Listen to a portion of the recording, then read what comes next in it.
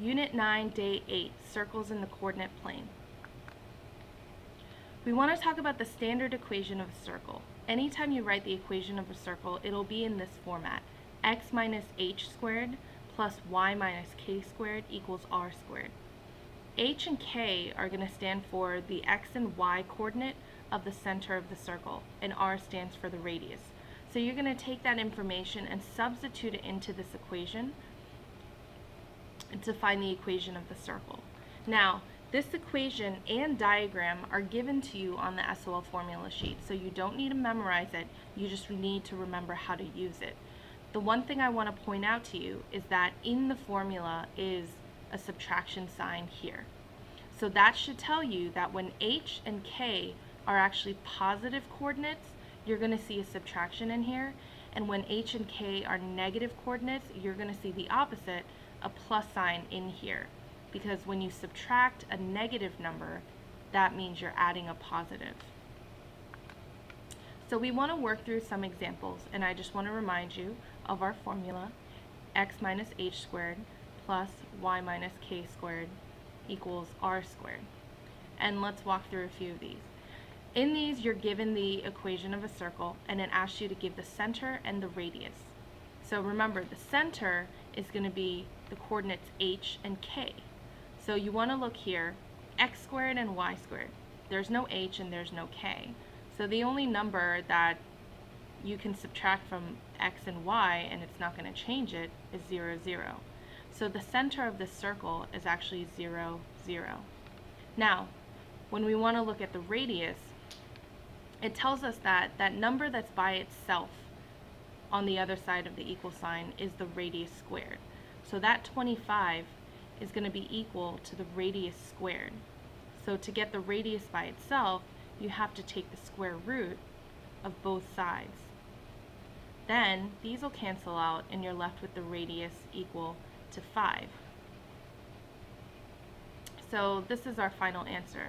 Center of 0, 0, radius of 5. Let's go ahead and take a look at this next one. We again have the radius squared is equal to 25. So we know that when we work that out, the radius will be 5. So we just want to find the center. Now, remember what I said about the fact that it's a subtraction sign in the original equation. So that means this is going to tell us that our coordinate's actually the opposite.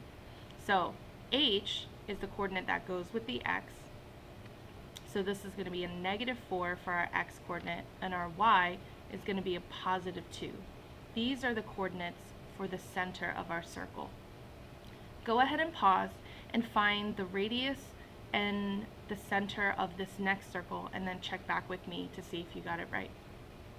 Hopefully you found that the center was 0, 4 and that the radius was 3.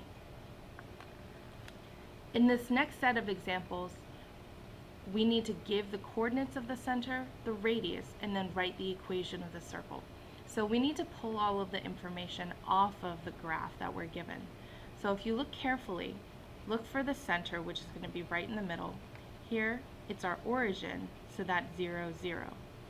Then, in order to count the radius, you want to know the distance from the center to the edge of the circle. Now, the easiest place to, get, to count this is going to be along the grid of the coordinate plane. So either count straight up, down, left, or right. One, two, three. So our radius is going to be 3. Now when we put this into our equation, again, I'll remind you real quick, x minus h squared plus y minus k squared equals r squared. So let's go ahead and substitute the information that we have. h and k are both going to be 0, so we know that this is just going to be x squared plus y squared equals, and the radius squared, 3 squared is going to be 9. Let's go ahead and try one more together. Here's our center, which is 0, 2. When you count out, the radius is going to be 2. And when we write our equation, the x-coordinate, that h is going to be 0, so we just have x squared, plus y minus 2 squared equals our radius squared is 4. go ahead and pause, find the information that we need for this last one, and check back with me to see if you got it right. Hopefully you should have gotten that the center is 1, 1, the radius is 1, and the equation is negative x minus 1 squared plus y minus 1 squared equals 1. Here we want to do the opposite of what we just did, which is graph each circle given the equation in standard form. So in order to graph, first we need to pull out some information from our equation. So we want to know the center point. This again, we did this before, but when it says minus 5, we know that's actually going to be a positive 5 for the x-coordinate. Minus 3 means a positive 3.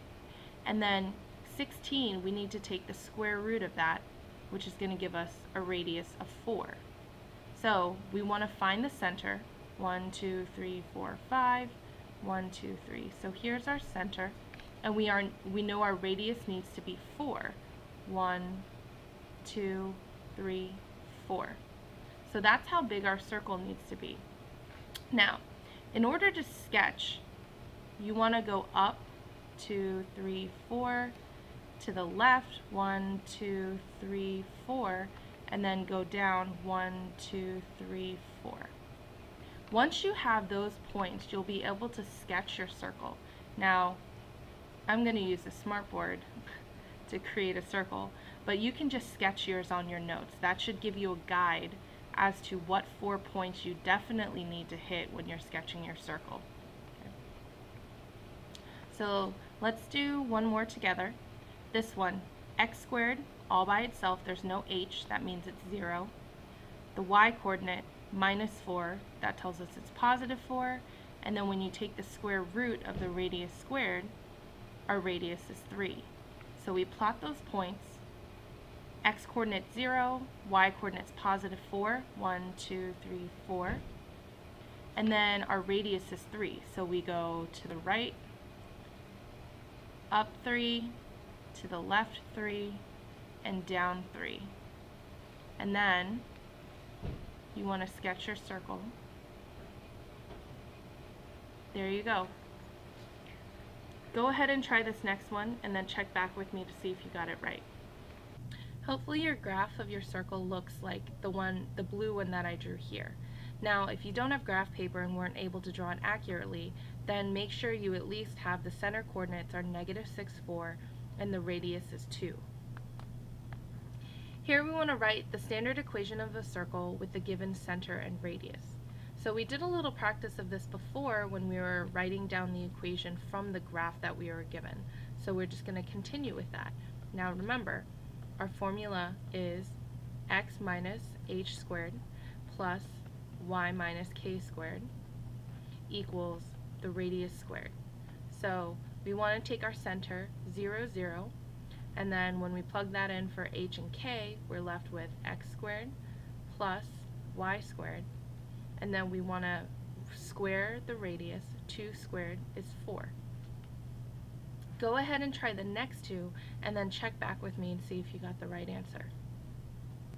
Hopefully you got x minus 2 squared plus y squared equals 9 for the second one.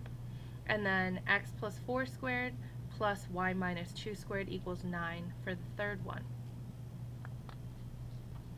Now in this last set of examples, it tells us that the equation of the circle is x minus 4 squared plus y minus 2 squared equals 9.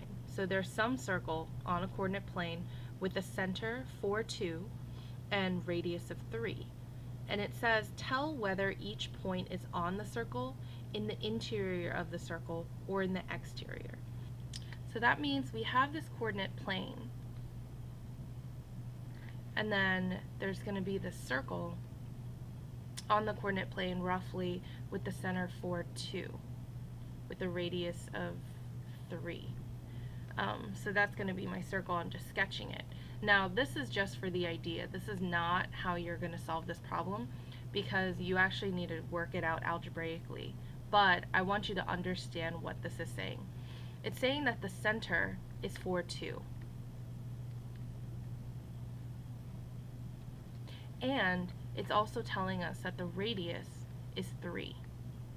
Now, given that information, any of these coordinate points, there are only three places that the coordinate point could be. Either somewhere inside the circle, somewhere on the circle, or somewhere outside of the circle. Now the way we're going to tell that, of course it's easy to do that when you actually draw it on the coordinate plane. However, like I said, we want to do this algebraically.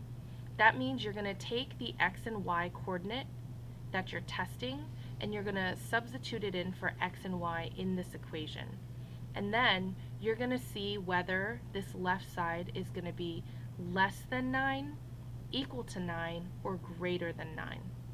So this is kind of like the idea of when we did the Pythagorean theorem converse to see if it was an acute triangle, a right triangle, or an obtuse triangle. So we're going to take this equation that we have of the circle, and just like we did with the Pythagorean theorem converse, instead of an equal sign, we're going to turn that into a box and see what symbol goes in here, less than, equal to, or greater than. So let's start off with this one. Our x-coordinate is going to substitute with 4, and then we have minus 4 squared, plus our y-coordinate will be 5, minus 2 squared, and then we have box 9. 4 minus 4 is 0, so we just have 5 minus 2 is 3 squared, box 9. 3 squared is 9, and that is going to equal 9. So that means that this coordinate point 4, 5 is going to be on the circle. Now let's go ahead and test this out with the next one. We're going to substitute in 5 for the x coordinate, and then 1 for the y coordinate, box 9. 5 minus 4 is 1, 1 minus 2 is negative 1, 1 squared is 1, negative 1 squared is also positive 1. So when you add 1 plus 1, you get 2 is going to be less than 9. So when you end up with the side that you simplified with all the coordinates is less than the other one, that means this is going to be inside the circle. Now lastly, let's try this one we have 0 minus 4 squared plus 2 minus 2 squared equal to 9. So 0 minus 4, this gives us a negative 4. 2 minus 2, that's going to be 0. Negative 4 times negative 4 is a positive 16. So we actually have that the side with the coordinates that we simplified is greater than the radius squared. This means that this coordinate point 0, 2 is going to be outside the circle. That's it for our lesson on circles, and this actually finishes out our unit on circles. So next class we'll work on this worksheet to do some practice, and then we're going to start reviewing for your test. So if you need to, make sure you start going back to rewatch videos and lessons that you didn't really understand the first time we went through it. Okay, I'll see you in class.